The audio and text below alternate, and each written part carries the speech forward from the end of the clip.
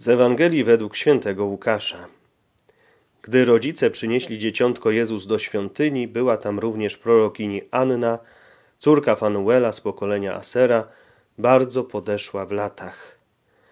Od swego panieństwa siedem lat żyła z mężem i pozostała wdową. Liczyła już sobie osiemdziesiąt cztery lata. Nie rozstawała się ze świątynią, służąc Bogu w postach i modlitwach, dniem i nocą. Przyszedłszy w tej właśnie chwili, sławiła Boga i mówiła o nim wszystkim, którzy oczekiwali wyzwolenia Jeruzalem. A gdy wypełnili wszystko według prawa pańskiego, wrócili do Galilei, do swego miasta Nazaretu. Dziecię zaś rosło i nabierało mocy, napełniając się mądrością, a łaska Boża spoczywała na nim. Oto słowo Pańskie. Łaska Boża spoczywała na nim. Maryja została nazwana pełną łaski. Ta Boża łaska to Duch Święty. Duch Święty, który też napełniał prorokinię Annę, bardzo podeszłą w latach, staruszkę. Staruszkę, którą prowadził Duch Święty ciągle do świątyni. Świątyni, która była podzielona na różne krużganki, na różne miejsca, na dziedzińce. Był dziedziniec pogan, dziedziniec właśnie pobożnych kobiet, Żydówek, później pobożnych mężczyzn, potem dziedziniec dla kapłanów, też miejsce święte świętych, tam gdzie było najświętsze miejsce. Tam, gdzie przychodziły kobiety pobożne, były też skarbony, było 12 skarbon, jak wiemy, kiedy przyszła pobożna, ale uboga wdowa, wszystko wrzuciła, dwa pieniążki, czyli jeden grosz. Tam było 12 skarbon. Wiemy, że Anna e, znaczy łaska.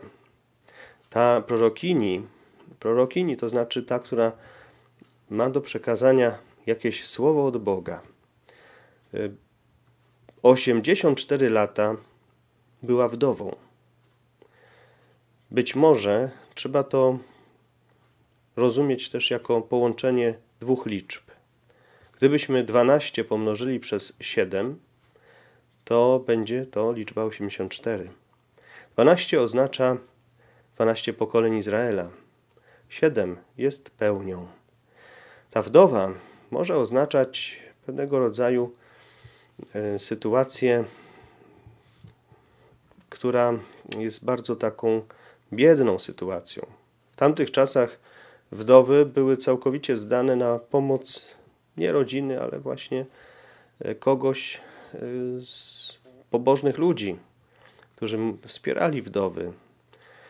I ta wdowa, gdybyśmy tak sobie policzyli, być może wyszła za mąż w wieku 14 lat, była przez 7 lat żoną, ale nie wiemy, czy miała dzieci, widocznie nie miała, e, więc sama musiała się później utrzymywać. A jednak tutaj ta wdowa nie szuka kolejnego męża, żeby pokazać innym ludziom, że jest y, podobająca się Bogu, ale bierze ten czas, który jej został do końca życia, jako pewien dar do tego, żeby służyć Bogu, żeby się podobać Bogu.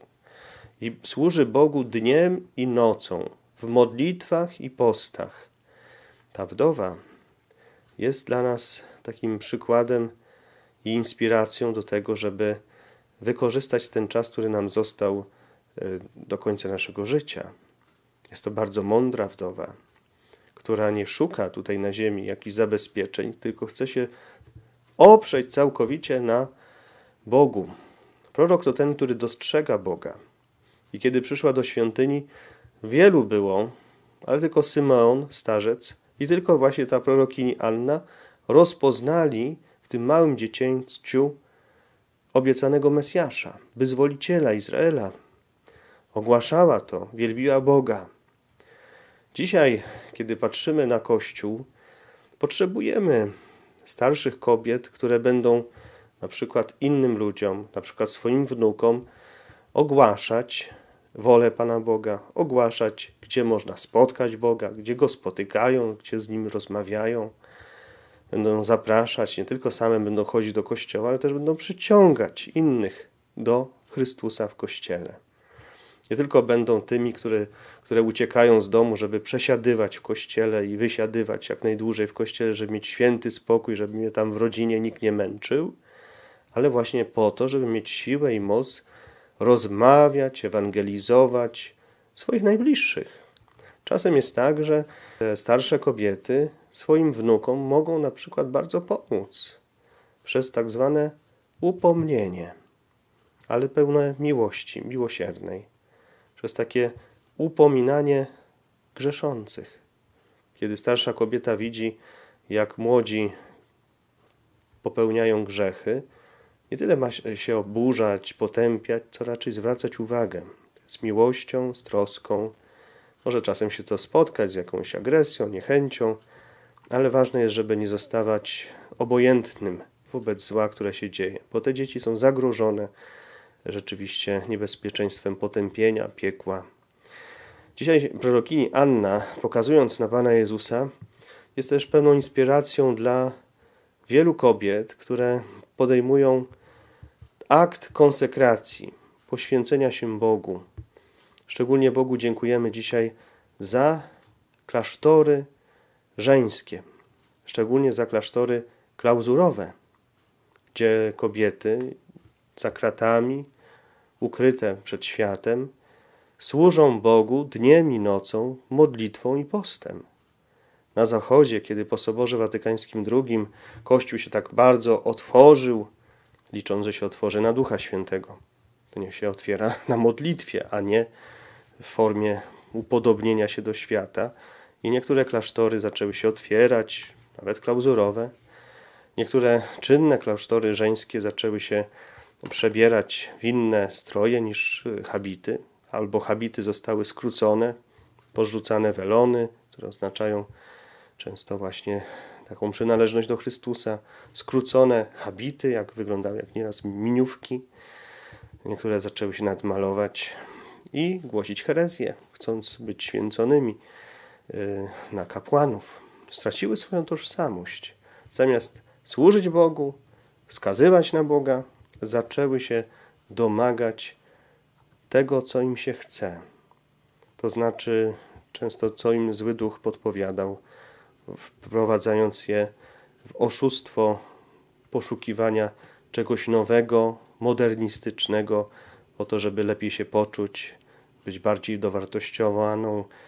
Natomiast dzisiaj i ta prorokini Anna, i Najświętsza Maria Panna, które są pełne Ducha Świętego, y, po czym poznać, że one są pełne Ducha Świętego? Po tym, że chętnie żyją w cieniu Boga. Schodzą w cień, wskazują na Boga, a nie eksponują siebie. Dziękujmy Panu Bogu dzisiaj, szczególnie za te święte kobiety, które są dla nas nieznane, które się modlą.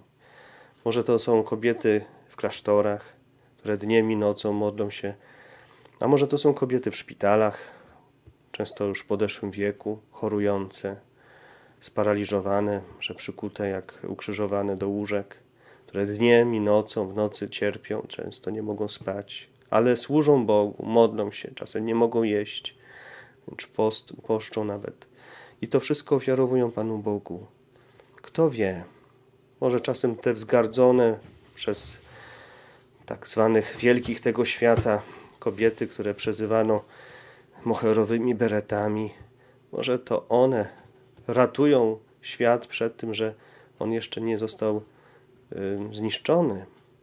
Może dzięki tej modlitwie, szczególnie ta inicjatywa Różańca do granic była bardzo piękna, kiedy wiele kobiet, też takich wdów, pojechało, aby modlić się za Polskę, modlić się o pokój w Polsce, pokój na świecie.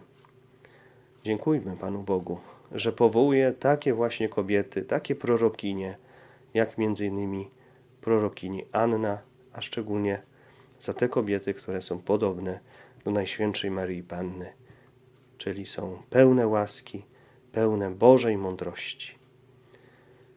Niech będzie pochwalony Jezus Chrystus.